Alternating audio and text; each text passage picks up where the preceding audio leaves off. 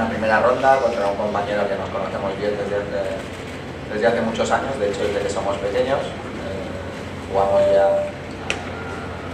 los 13, 14 años.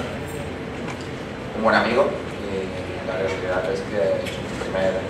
partido que, como siempre son, son partidos complicados contra alguien que me conoce bien y, encima pues eh, llevo tiempo sin,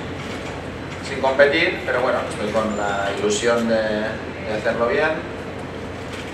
He llegado aquí más o menos con tiempo, creo que más o menos la semana previa de entrenamiento se está yendo bien, me queda el entrenamiento de hoy, antes de,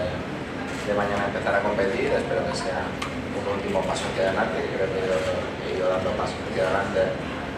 eh, cada día que he entrenado